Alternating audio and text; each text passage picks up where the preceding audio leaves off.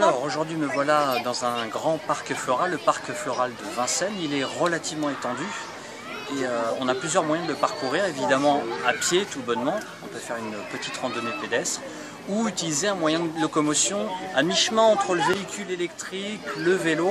C'est ce qu'on appelle en termes génériques un quadricycle et ce quadricycle en fait on l'appelle ici une rosalie. Et la rosalie elle est là.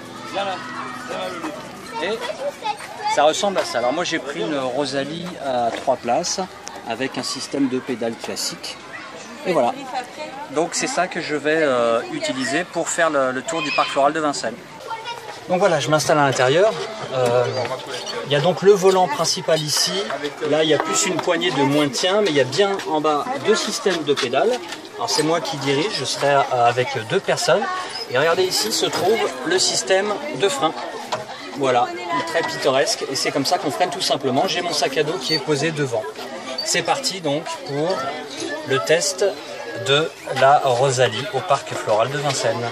Donc c'est parti, eh bien euh, bah, rien de spécial à dire en termes de sensations. Bon moi ça me plaît beaucoup, hein. des petites attractions comme ça simples me plaisent aussi euh, énormément. Ça s'appelle donc une Rosalie, puis ça permet de faire le tour, alors évidemment de manière écologique, puisque le système, encore une fois, fonctionne comme un vélo, c'est un système à pédale classique. Euh, il n'y a absolument aucun élément de moteur, tout se passe en pédalant, il fait très très très beau, il y a des senteurs végétales tout autour de moi. Donc le tour en Rosalie se passe très bien pour le moment.